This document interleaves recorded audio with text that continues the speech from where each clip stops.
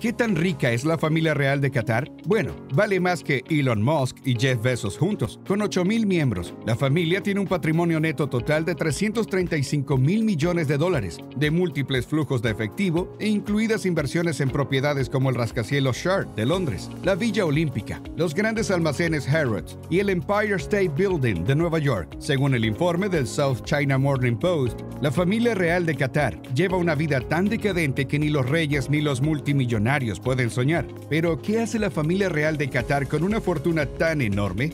Bueno, viven en el Palacio Real de Doha, que está cubierto de oro y consta de 15 palacios diferentes y un estacionamiento para más de 500 autos, cuya construcción costó alrededor de mil millones de dólares, un yate de 400 millones de dólares, que es más largo que un campo de fútbol, y jets privados. En 1977 fundaron una aerolínea exclusiva, Qatar Emir Flight, que atiende solo a miembros de la familia real y personal de alto rango. La aerolínea cuenta con 14 aviones, incluidos tres Jumbo Boeing 747-8, el avión comercial más caro de la marca, que cuesta más de 400 millones de dólares cada uno. Han gastado miles de millones de dólares en miles de pinturas y objetos de colección a lo largo de los años, como la pintura White Center de Mark Rothko en 72.8 millones de dólares o Men in Her Life de Andy Warhol en 63.4 millones de dólares. La familia parece amar los deportes también. Ha sido sede de muchos campeonatos internacionales, como los Juegos Asiáticos de 2006, el Campeonato Mundial de Boxeo AIBA de 2015 y la Copa Mundial de FIFA de 2022.